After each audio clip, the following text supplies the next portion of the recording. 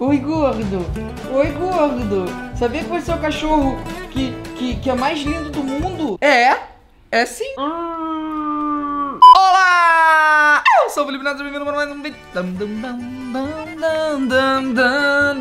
A de Morena e São João. Ele me rani, ele me rara, ele me amanhã. Judiação. Festa junina. Ah, tá. Amor, Que? como é que é namorar um youtuber? É isso aí que vocês estão vendo, né? É isso aí que vocês estão vendo? É, O quê? isso aí, isso aí que tá acontecendo agora. Pô, não era pra gente ter cantado essa música, era pra gente ter contado o bom dia das pessoas acordarem de bom humor. Então vamos, vai. Bom Bom dia, bom dia, bom dia, com alegria. Bom dia, bom dia, que Jesus e Maria seja a sua companhia. Bom dia. Gente, Bruna Gomes, minha namorada, coisa mais linda que existe no mundo. Hoje a gente vai gravar uma outra tag que é mais uma daquelas pra fazer o relacionamento acabar, porque a gente é desses. A gente gosta de viver no De aventura. Isso. Aventura no limite da emoção, no limite ali do, do- do quase término, com essas brincadeiras idiotas que são pra divertir vocês e fazer a gente ficar puto. Então hoje a tag é Eu Nunca, Eu Já. Basicamente é o seguinte: pediram pra eu fazer essas plaquinhas, então não julguem, tá? Tá, tá uma merda porque fui eu que fiz e eu tenho a destreza de uma criança da quarta série Ah, que. eu acho que pior. Acho que é uma criança que começou a escrever agora, assim. Mais ou menos. Essa parte assim, que você vê que a sua namorada não te apoia, né? Ela poderia estar do seu lado e falar, amor, ficou lindo, você é talentosíssimo, mas não. Mas eu sou sincera. Quantos coices eu vou tomar nesse vídeo, assim, só pra eu saber? E é simples, me dá aqui, Bruno. A gente separou aqui frases que eu escrevi metade e ela escreveu metade. Tem várias frases aqui que a gente vai ler e aí a gente vai ter que dizer se a gente já fez ou se a gente nunca fez. E daí a gente vai ver o que, que vai acontecer dessa história. Tá se sentindo preparada? Não. Não? Então vamos começar não, com uma meu pai tá sua. vendo. Sogrão, um beijo. E olha, lembre-se que é, o importante é que ela é saudável.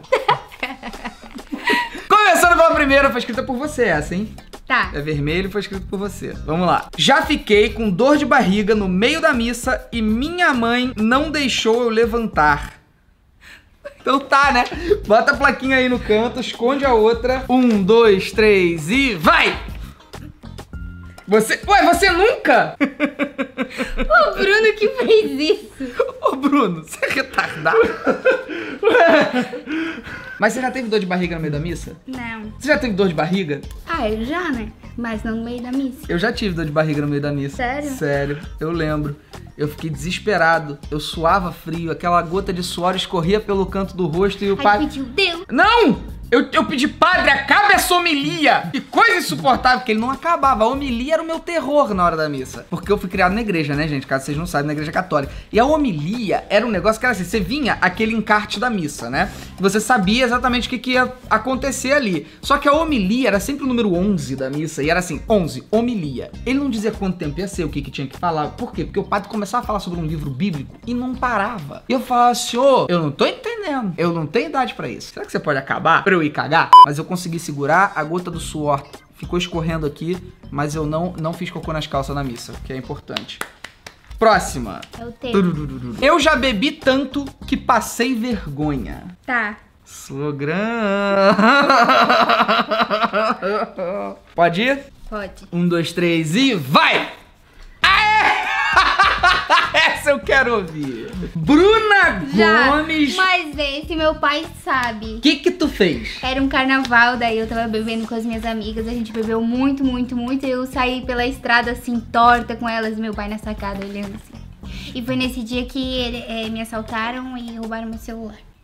Meu Deus. Sim. Mas qual foi a vergonha que você passou? Foi meio. tra- Tava toda a minha família me olhando torta no meio da estrada. Ah, é verdade, isso é vergonha. Isso é vergonhoso. Acho que minha mãe nunca me viu bêbado. É, meu pai já. Olha, eu poderia contar as histórias em que eu bebi e passei vergonha, só que não dá pra fazer um vídeo de 55 minutos. Então eu vou contar, talvez, a pior delas. Conta? É possível que você não queira mais ficar comigo. Cara, eu fui numa balada em São Paulo.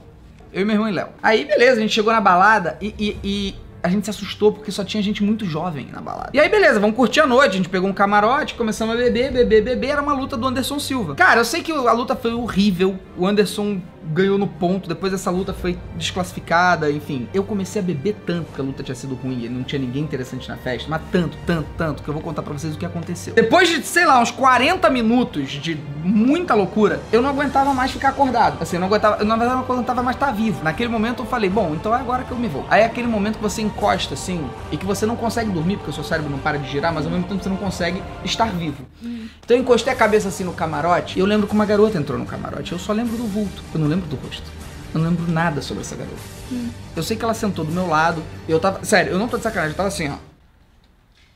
Eu só lembro que eu não falei nada e ela me beijou. A força. A força. Amor, eu não conseguia falar. Eu- se ela falasse comigo, oi, tudo bom, de onde você é? Eu ia responder.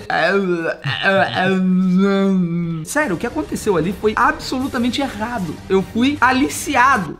Não é mentira, eu juro que isso aconteceu. Aí o pior tá agora. Na hora que ela tava se engalfinhando com a minha cara, contra a minha vontade, eu senti vontade de vomitar. Eu quase vomitei nela. Eu consegui. se- Eu tinha que ter vomitado nela, porque ela merecia. Mas eu consegui parar, levantar, e aí tem um corte na minha memória. E a próxima lembrança que eu tenho. Que? Banheiro de balada é uma coisa nojenta, não é? Sim. A próxima lembrança que eu tenho sou eu deitado no chão, abraçado com uma privada. Tinha muito xixi em mim, tinha muito DNA espalhado no meu corpo naquele momento, porque era a urina de muitas pessoas, né? Porque a pessoa, quando ela mija na balada, ela não mira no vaso, ela mira no azulejo. Ela olha pro azulejo e fala, por que não? Caga na lixeira. Essa é a graça na balada da pessoa que vai no banheiro, não eu. E eu deitei no mijo. E eu lembro que em seguida. tá, já deu, né? Mas acho que piora. Porque o meu irmão me achou lá dentro. E ele tava tão bêbado quanto eu. E ele me achou deitado no mijo. E ele ficava. Porra, cara, tu tá muito louco, cara. Não, eu quero mijar. E aí ele quis mijar no chão, onde eu tava. Eu não sei o que que aconteceu. Eu consegui impedi-lo no grito, que eu não conseguia falar. Eu falei, ai, não, ai!" E aí ele mijou no vaso. Mas com certeza respingou em mim. Eu já ganhei um chifre. Vai. É um absurdo isso. Por quê? Porque eu já ganhei mesmo, tá? Só pra deixar claro aqui que eu já e ganhei. eu não. Assim, eu não sei, né? É, eu quero deixar claro que não foi ela, mas já ganhei sim. Nunca tive uma namorada que não tenha me chifrado, exceto essa. Estamos aí para tentar um novo momento da vida, um novo recorde a ser estabelecido, não corno. É o recorde não corno. Você poderia, por gentileza, não me chifrar? Com certeza. Umas mais que as outras, né?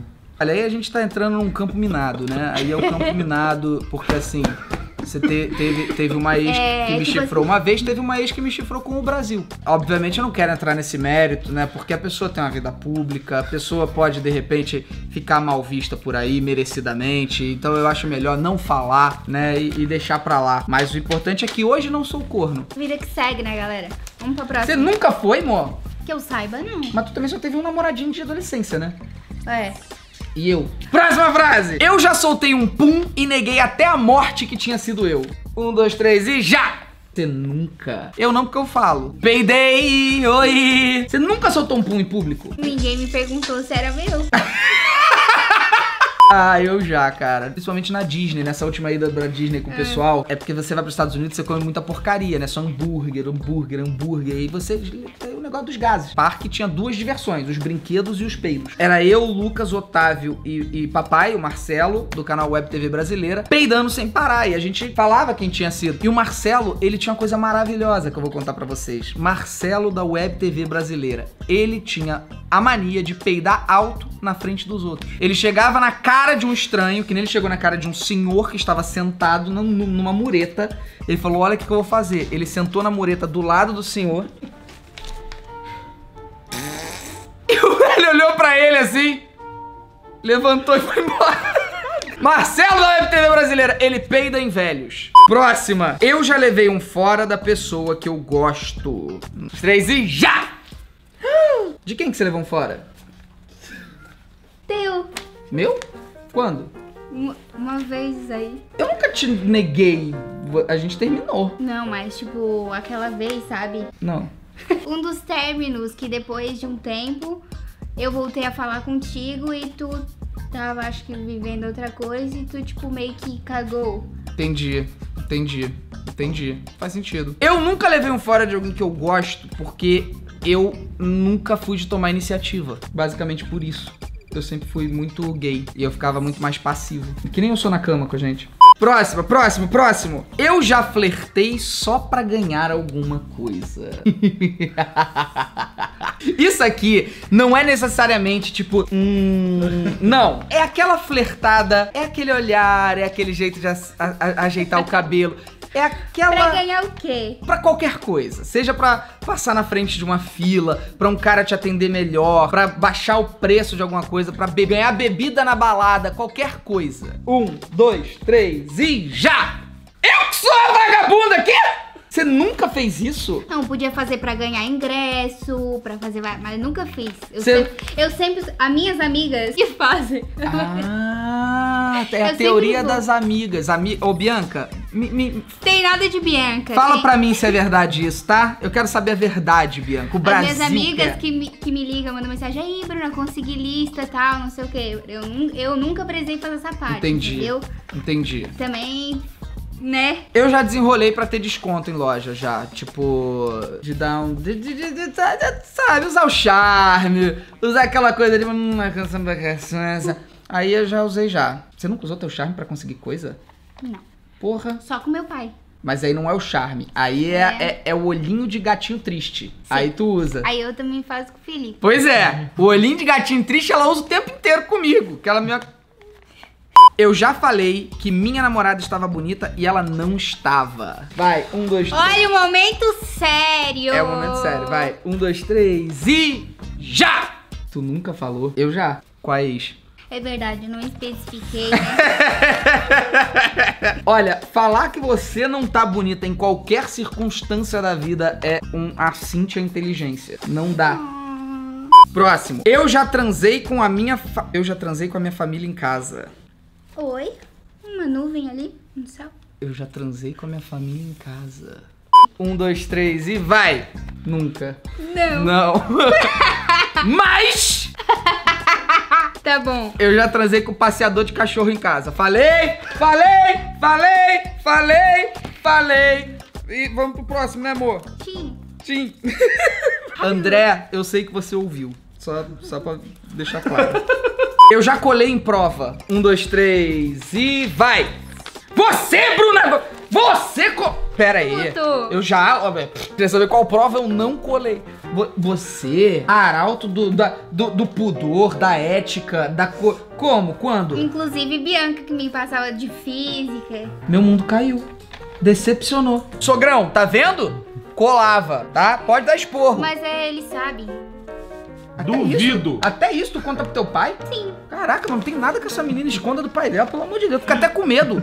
Eu fico com medo, sério. Fazer uma coisa diferente e tal, né? E de repente ela liga: Pai, você não sabe o que a gente fez ontem à noite. Eu já fiquei bêbado e mandei mensagem pra ex. Um, dois, três e já! Várias e várias vezes. Sério? Eu nunca fiz. Eu sempre fui orgulhoso que nem a praga. Eu já roubei doce da loja americana. Um, dois, três e já! Olha, eu ia ficar um pouco meio. um pouco meio assustada, né? Todo mundo rouba o doce da loja americana. Todo mundo. Muita gente faz isso. Não roubem doce, porque roubar doce e roubar um carro é a mesma coisa. Foi isso que minha mãe me ensinou. Eu já falei que estava em um lugar, mas estava em outro. Um, dois, três e já. Que história é essa? Ah! Quero a história. Amor, conta tu aí. A minha não pode ser contada. A minha é proibida de ser contada. Ah, tá, tá. Eu quero saber. Porra. Tá. E, e a tua? A minha foi na adolescência, pra minha mãe. Janete! Mas ela também sabe já. Eu já contei tudo. Ser pai e mãe da Bruna é muito sem graça. É tipo muito filha perfeita. Não vivem altas emoções. Mas o que, que você fez? Eu falei que tava no, na casa de uma, de uma amiga e tava no shopping com daí com um menininho e tal. Menininho, eu vou te caçar, mano. Se tu se identifica, eu vou te caçar e eu vou te pegar. É, e se a pessoa tá assistindo, ela sabe que eu, eu contei pra minha mãe que tava na casa. Corre. Muito amed- amedrontador com esse cabelo. Tá acabando, tá acabando, tá acabando. Eu já tratei mal alguém que gostava de mim. Um, dois, três e. Vai. Eu já tratei mal você, amor. E eu também. Desculpa. Desculpa. Eu já fiz xixi na piscina da minha amiga. Um, dois, três e. Já! Ah, errei! Nunca.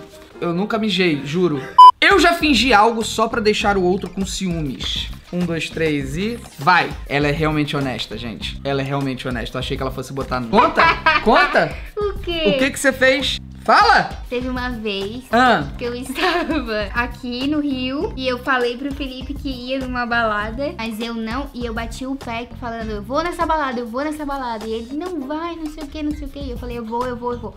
Mas no fim eu não ia, era só pra ele ficar com ciúmes que eu ia nessa balada. só uma coisa, eu deixo ela ir nas baladas. Não tem problema nenhum, até porque eu não tenho que deixar ou não deixar nada. Só que ela queria ir num lugar pesado, um lugar de funk pesado, um lugar que não era nem um pouco seguro pra ela ir. Você não vai nesse lugar. Eu vou. Minhas amigas vão e eu vou. Nossa, eu queria arrancar minha pele de raiva, cara. De tipo, eu queria proteger. Ela tava cagando. A gente não namorava na época, ela fez isso só de raiva. Último, último. Eu já ri do Instagram dos outros pelas costas.